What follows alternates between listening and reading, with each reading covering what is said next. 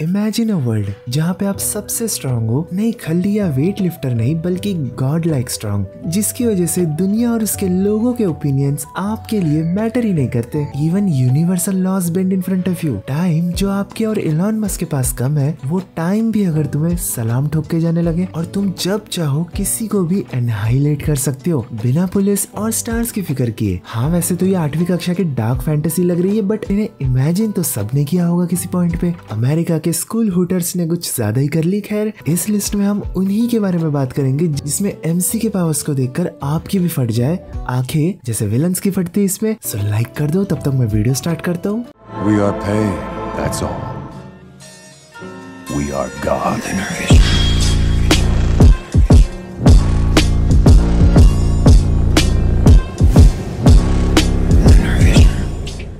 Shijo Saikyo no Daimao, or we can say the greatest demon lord is reborn as a typical nobody. आजकल title पढ़कर ही कोई भी पूरी कहानी समझ जाए। इतने ऑब्वियस हो गए। खैर, पहली नज़र में तो इसका आइडिया काफ़ी सही जा रहा था, लेकिन फिर खुद ही भूल गए कि इनका स्टेशन कहाँ है। इसका एमसी ह्यूमंस के पीक पोटेंशियल को टच कर चुका है, यानी सबसे पावरफुल इसलिए बाकी लोग इसे रेस्पेक्ट देने लगे, डरने लगे, और इसे डीमन लॉर्ड का नाम मिल गया। तो लोग उससे डरने के साथ साथ उसे रेस्पेक्ट भी देते थे, लेकिन इसकी वजह से वो काफ़ी अकेला पड़ गया। ना फ्रेंड्स ना लड़की फ्रेंड्स कोई उससे बात नहीं करता। सो उसने इस ज़िंदगी से गिवी अप कर दिया और तीन हज़ार साल बाद फिर से रीइनकारनेट हुआ न्यू फॉर्म में न्यू नाम मीटियोर के साथ। एक नॉर्मल गाँव में कॉमन फैमिली में ऐसा उसे लगता था। खैर, उसके अपने आप को कमज़ोर करने के बाद भी वो अपनी एबनॉर्मल शक्तियों को छुपा नहीं पाता। तो उसका नॉर्मल लाइफ जीने का प्लान तो गंदा बैकफायर कर जाता है। वैसे ही इसकी थीम की यूनिकनेस की वजह से ये दसवें नंबर पर है, वरना काफ़ी स्लो लग सकता है आपको। और पहले से एक वार्निंग दे दूँ। इसमें जो वाइफोस है, वो पता नहीं क्यों छोटे बच्चे लगते हैं with very big I mean size में ही बच्चे भी लगते हैं और साइज़ में ही बड़े। सो ये काफ़ी लोगों को अनकंफर्टेबल कर सकता है, लेकिन इसमें अच्छी इतना है नहीं सो स्टोरी को एंजॉय करने के लिए देख सकते हो। एंड फनी थिंग इज़ इसमें और नंबर वन वाले एनिमे में एक चीज़ कॉमन है। So let's see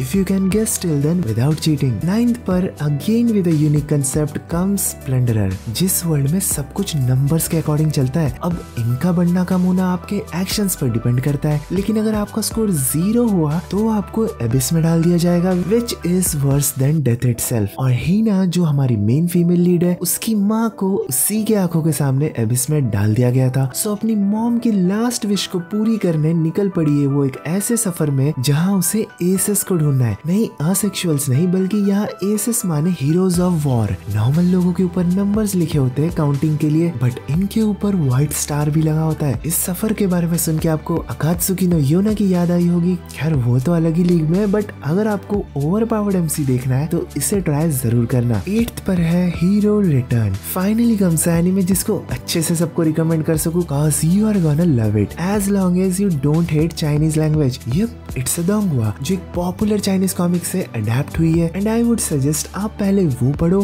फिर एनिमे देखो, ताकि पूरा मज़ा ले सको। वरना एनिमे में तो काफ़ी स्किपिंग हुई है। स्टोरी का इंट्रो काफ़ी सिंपल है जहाँ पे हमारा ज़ीरो यानी हीरो जिसका नाम है ज़ीरो पूरे मैनकाइंड का पहला सुपर हीरो था। और उसके अंडर कई न्यू हीरोज आए, जिन्होंने उसके ही फुटस्टेप्स को फॉलो किया। लेकिन पाँच साल तक वॉर लड़ने के बाद वो अचानक से गायब हो गया। आगे क्या होगा? I leave it to you काफ़ी फनी और एंगेजिंग ट्वेल्व एपिसोड वाला दोंगवा जिसका फाइटिंग एनिमेशन तो बहुत सुपर है सो ट्राई तो पक्का करना। I think it needs more attention तो ये था हीरो रिटर्न और अगला है आई एम क्विटिंग हीरोइन जी हाँ एक में हीरो वापस आ रहा है तो एक में हीरो छोड़ के जा रहा है। अगर फाइट एनिमेशन के मामले में कहूँ तो हीरो रिटर्न इससे भी अच्छा है, लेकिन इस एनिमे का नेम और कंसेप्ट लाइक सोचो एक हीरो ने हीरोगिरी छोड़ दी और डीमंस को ज्वाइन करना चाहता है। हिलेरियस राइट ऐसा ही हुआ हमारे हीरो लियो के साथ। जब डीमन क्वीन का हुआ हमला इंसानों पर, तब इंसान लियो के पास आए कि हमें बचा लो, और लियो ने वही किया एज अ हीरो लेकिन वही लोग जिनकी इसने मदद की, वो अब इससे डरने लगे और इसे ही किंगडम से बैनिश कर दिया। अब लियो को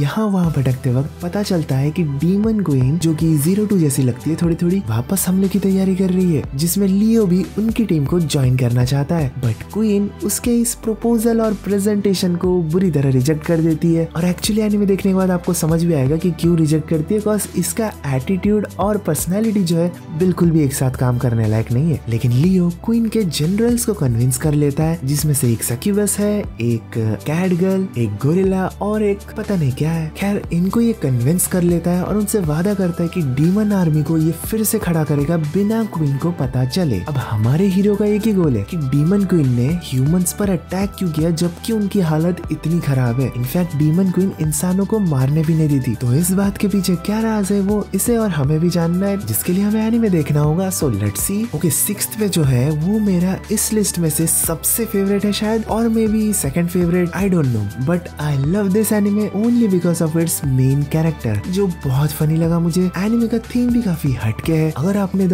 world the god only knows देखा है तो आपको ओतोमे गाल गेम्स यानी डेटिंग सिमुलेटर्स के बारे में पता ही होगा। हमारे एमसी को इस तरह के गेम्स बिल्कुल पसंद नहीं, लेकिन इसकी सिस्टर इसे ब्लैकमेल करती है। इसे एक गेम कंप्लीट करने और किसी तरह भूखे पेट बिना सोए वो इस टॉर्चर को पूरा करता है। लेकिन जब रात को कन्वीनियंस स्टोर से कुछ बाय करने जाता है, तब भूख के मारे सीढ़ियों में गिरकर मर जाता है। सीरियसली एंड री इनकारनेट होता है उसी डेटिंग सिमुलेटर गेम के अंदर, जहाँ लड़कियों के पास ज़्यादा पावर्स है। नहीं पावर्स मतलब वैसे मैजिकल पावर्स नहीं, बल्कि सोसाइटी के पावर्स डोमिनेटिंग पावर्स यहाँ पे लड़कियों की काफ़ी ज़्यादा इज़्ज़त होती है और लड़कों की इज़्ज़त टॉमी की जितनी होती है। लड़कियाँ लड़कों को काफ़ी बुरी तरीके से ट्रीट करते हैं एक्सेप्ट प्रिंस और रॉयल्स उनके ऊपर लड़कियाँ ऑफ़ कोर्स सिम करती है, बाकी सारे बॉयज़ मानो उनके स्लेव टाइप है। इसके मेन कैरेक्टर से आपका तो पता नहीं बट मैंने काफ़ी रिलेट किया। सो अगर आपको इंटरेस्टिंग मेन कैरेक्टर वाला एनिमे देखना है। इसे और नंबर वन को ज़रूर देखना। कॉज अपना एमसी नॉर्मल एमसी जैसा बिल्कुल नहीं। सब इसे एरोगेंट और हरामी बुलाते हैं। कॉज ये अपने गोल को पाने के लिए कितना भी बुरा बनने को तैयार है। जबकि इन रियलिटी वो दूसरों के लिए सैक्रिफाइस ही कर रहा है। बट क्रेडिट नहीं पसंद। तो फिफ्थ पर है the world's finest assassin gets reincarnated in another world as an aristocrat ये एनिमे तो आप सबने अब तक देख ही लिया होगा। और अगर नहीं देखा तो क्या कर रहे हो यार? जाओ, देखो। रेडियो ऑफिलर तो आपने देखा ही होगा तो उसका क्रिएटर जब खुद बोल रहा है कि ये मेरा अब तक का बेस्ट वर्क है तो समझ सकते हो ये शो किस लेवल तक जा सकता है। वर्ल्ड के सबसे बेस्ट असैसिन को अपने ही ऑर्ग से धोखा मिलता है, जब उसे पता चलता है कि इतने सालों की लॉयल्टी के बाद भी वो इसे मारने के पीछे पड़े और इस गुस्से और रिग्रेट के साथ साथ उसका अंत हो जाता है। लेकिन उसके स्किल्स को देखकर गॉडेस उसे एक और चांस देती है, एक ऐसे वर्ल्ड में रीइनकारनेट करके जहाँ असैसिन में भी स्वर्ड्स एंड मैजिक का यूज़ होता है। यहाँ पर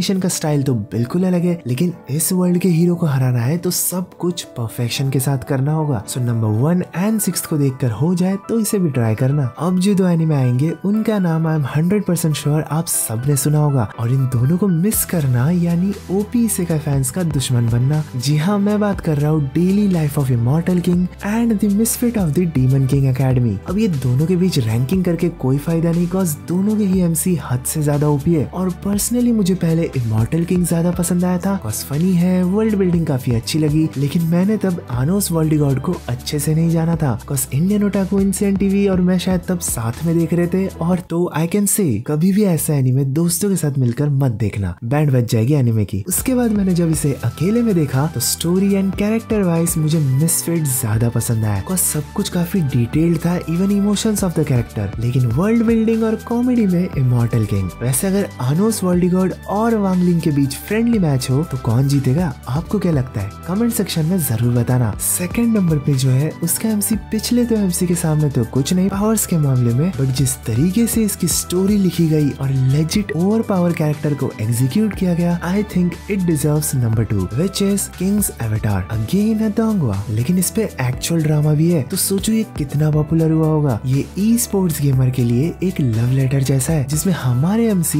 ये शो ना तो ई से गाय होता है टेक्निकली और ना कोई गॉडेस उसे असीम शक्तियाँ देती है। वो खुद ही ओपी है और वो भी हक से। कॉज वो इस वर्ल्ड के सबसे पॉपुलर गेम ग्लोरी में प्रोफेशनल लेवल में कम्पीट कर चुका है कई सालों तक as a leader of that team जहाँ उसे लॉर्ड ग्रिम के नाम से जानते हैं। यही उसकी skills over the year develop हुई उसकी अपनी मेहनत से। लेकिन यही टीम इसे धोखे से अचानक निकालने का प्लॉट करती है। अब इतने साल एक गेम को देने के बाद अचानक से अगर कोई निकाल दे ऐसे तो बंदा क्या कर सकता है पेट पालने? स्टिल वो एक इंटरनेट कैफ़े में जॉब देखता है, जहाँ उसे चांस मिलता है एक न्यू अकाउंट बना के आर्टिफैक्ट्स फार्म करने का आई मीन ग्राइंड करने का। खैर बेसिकली एक रेडियंट स्मर्फ अपनी अल्ट आईडी से वापस एंट्री मारता है। Even with no legendary items ये काफ़ी ओपी है। Due to his game sense and story भी काफ़ी अच्छे से सेट है without forcing any unwanted teen drama and fan service बिल्कुल भी पुश नहीं किया है। After all they are adult so as a OPMC इसे मैं डेफिनेटली रिकमेंड करता हूँ। नंबर टेन की मदद से आप लोगों लोगों ने नंबर वन गेस कर ही लिया होगा। उसमें एमसी का नाम था मीटियोर और इसमें ही गोस आई